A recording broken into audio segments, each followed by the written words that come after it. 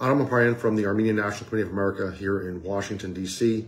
Uh, Artsakh is again under attack. Azerbaijan launched uh, intensive attacks along the Lachin corridor um, earlier today. Uh, we have reports of two fatalities, two Armenian fatalities, uh, as many as uh, 14 Armenian wounded.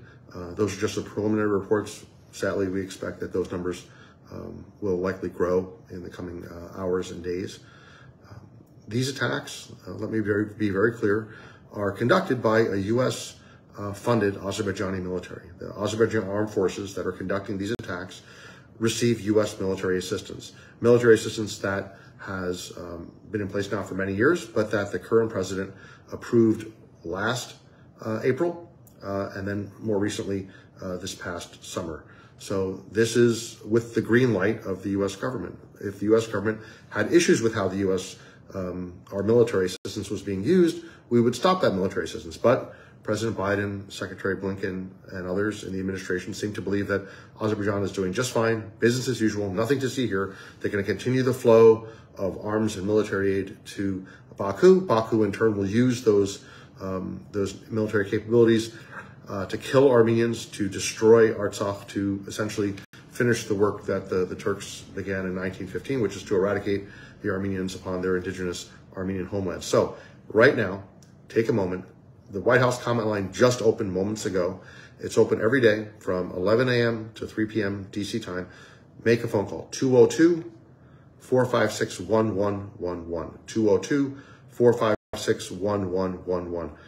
Leave a message. I can tell you what to say, but I think you know what it is that needs to be said.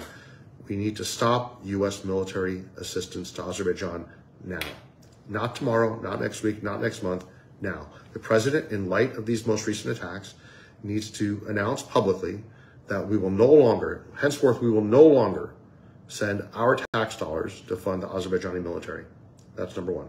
Number two, follow up that, that phone call with uh, an email to your members of Congress and also the White House, going on the record on, on paper, or at least via email, by visiting anca.org slash 907, anca.org slash 907. Take those two actions today.